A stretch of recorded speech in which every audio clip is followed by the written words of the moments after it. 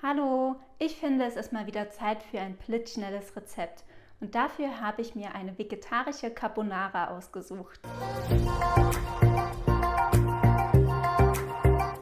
Für die vegetarische Carbonara brauchst du 200 ml Sahne, eingestrichenen Teelöffel Pfeffer, eingestrichenen Teelöffel Salz, ein Eigelb, eine kleine Zucchini, eine Paprika, die habe ich beide schon klein gewürfelt, dann ca. 50 bis 60 Gramm Parmesan und 250 Gramm Nudeln. Bei der Carbonara kannst du eigentlich Gemüse nehmen, welches du möchtest.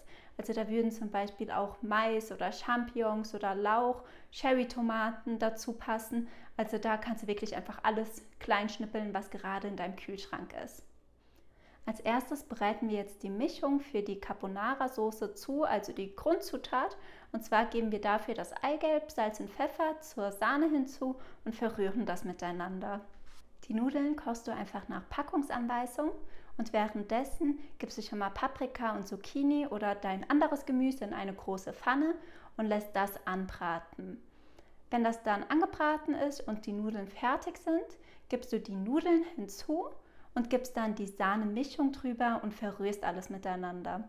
Dann kommt zum Schluss noch der Parmesan hinzu, der bindet die Nudeln und die Soße, damit die nicht allzu flüssig ist. Deshalb habe ich auch ca. 50 bis 60 Gramm gesagt, denn da gucke ich immer nach Augenmaß, bis einfach die Soße eine nette Konsistenz hat. Und rucki zucki ist unsere vegetarische Spaghetti Carbonara fertig. Also ich hoffe, ich habe dir nicht zu viel versprochen, dass das ein wirklich super leckeres Blitzrezept ist.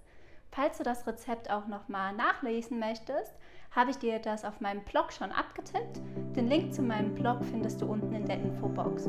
Gerne kannst du ja generell mal meinen Blog durchstöbern oder bei mir auf Instagram vorbeischauen. Bis zum nächsten Mal, deine Janika.